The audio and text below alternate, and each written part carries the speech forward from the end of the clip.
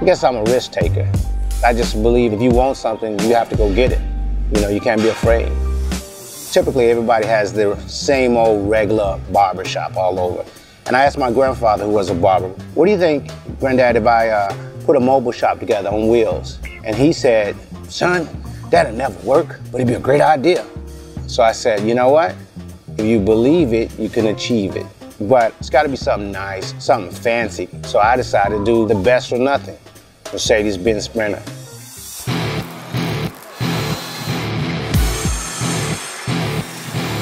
My company's name is Automotive Designs and Fabrication.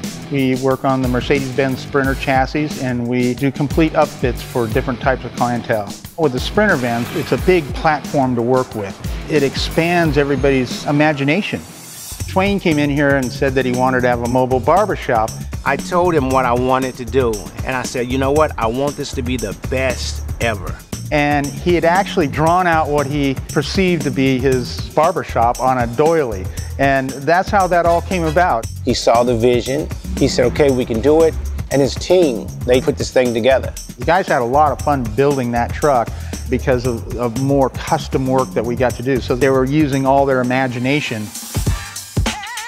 The name of this barbershop on wheels is called Luxury Mobile Barbershop. I have everything a man would want inside of here. It's like a rolling man cave. What I have, first of all, is a custom leather tufted chair. Only one of a kind, so this is the only one basically in the world. In any high-class vehicle, you gotta have a banging stereo system. And I didn't just want one TV. I wanted five HD LED TVs. What happens if my clients want a beverage? I got a full selection of top shelf drinks that they can choose from. I have sink, so I'm able to do shampoos, conditioner. And after I'm done with the trim or the haircut, I got an automatic hair picker upper. And for hot California summers, you knew we had to have an air conditioner. Check this out. I got this backup camera. Parallel parking, no problem. What you see is not just the best barbershop on wheels, it's the best barbershop, period. My man Floyd. That's what I'm talking about. This is perfect for LA because with these people with the hustle and bustle, what they do, they don't have leisure time. So what I do, I conveniently maximize your time. Hey, Twain, I got about 10 minutes. I need a haircut real quick. I'm at Hollywood and Vine. Okay, yeah, you know, I'm not too far from there. I can be there in um, five minutes. I'll come pretty much anywhere that you need me to come. My man hurt. I give you the service that you want, an extra, and you leave, and I've saved you time and money. See you next time.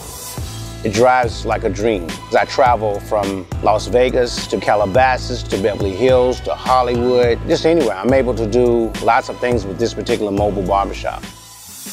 I'm just an average guy that had a vision. You can do whatever you want, just apply yourself. You believe it, you achieve it.